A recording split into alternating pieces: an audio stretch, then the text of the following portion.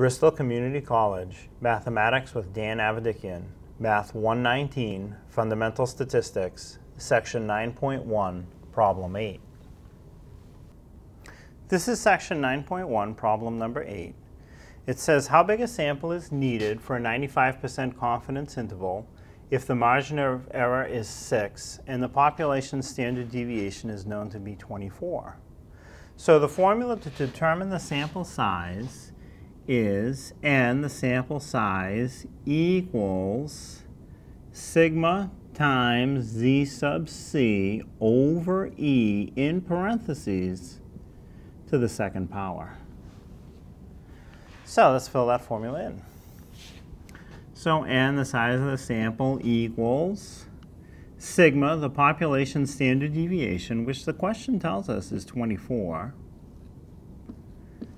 times z sub c, the confidence coefficient. So the question is asking for a 95% level of confidence. So for 95% level of confidence, the, con the confidence coefficient z sub c is 1.96. And then E is for error. So the margin of error is 6. Don't forget the second power, very common mistake. So now to do this, you can do the multiply and divide in a variety of orders. A lot of people just take their calculator and multiply going across the top. 24 times 1.96 will be 47.04. And you still have a 6 underneath. Don't forget the second power.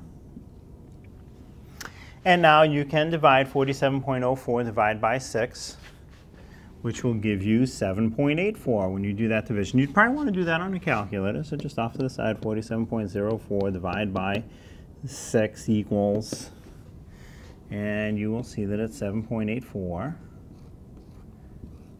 Second power, again, don't forget the second power. So now with your calculator, you can do n equals 7.84 times 7.84. That's what we mean by second power.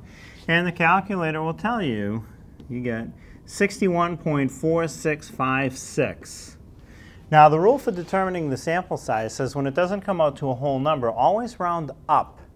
Without that special rule, the 61.4 would round to 61. But to keep accuracy as high as you want, the explanation in the note says no matter what the decimal is, round it up. So 62. So if you have a sample of 62, you would have that level of accuracy you want, 95% level of confidence with a margin of error of 6.